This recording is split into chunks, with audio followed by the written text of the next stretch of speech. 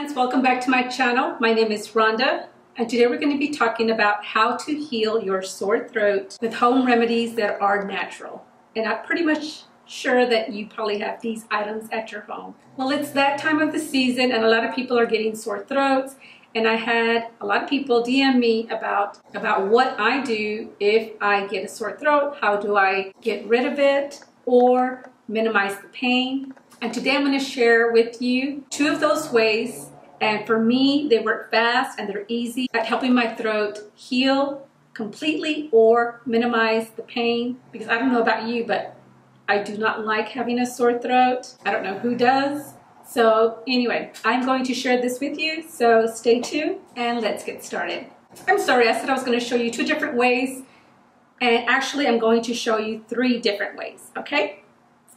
So the first one is going to be, you're going to get warm water, put it in a glass, and use some Himalayan salt.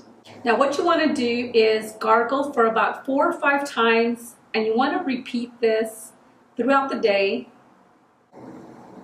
The best times that I like doing this is, for me, is in the morning, first thing in the morning when I wake up, then later after a meal, and then before I go to bed at night. These are the best times that I find for me it works, but really you can do it anytime that is good for you. Okay, the number now we're gonna go to number two. Number two is apple cider vinegar, and you can add a little bit of water to the apple cider vinegar. I don't really add water, I just do the pure apple cider vinegar, but you can add some water. And then just gargle with that.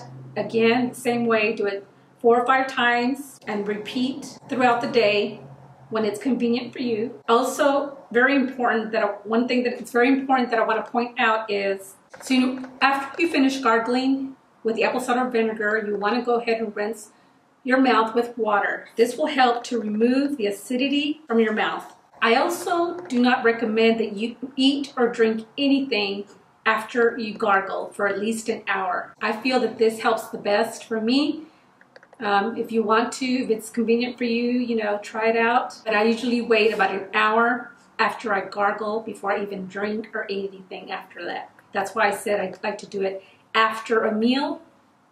That way I know I'm not gonna, I don't have to be hungry or thirsty right after an hour. You know, I can wait that hour. Okay, so now last but not least is turmeric lemon with warm water.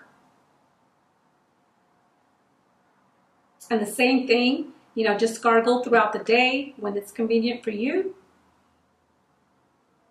And this will help relieve the pain that you're feeling and possibly even take away a sore throat. Well, I hope these have been helpful for you. Comment below if there's anything that you would like for me to make a video on. I'm here to help you. And if you want to, you can also DM me. And I will see you guys on my next video.